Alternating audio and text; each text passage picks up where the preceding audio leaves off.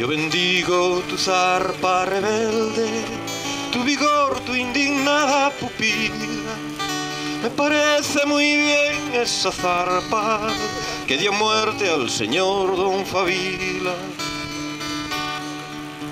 No quisiste ser siervo de reyes, ni tampoco ser blanco de caza, oso pardo del pajares, solo tú defendiste la raza. Y al monarca no es socio, ni en matarnos a nos tu destino.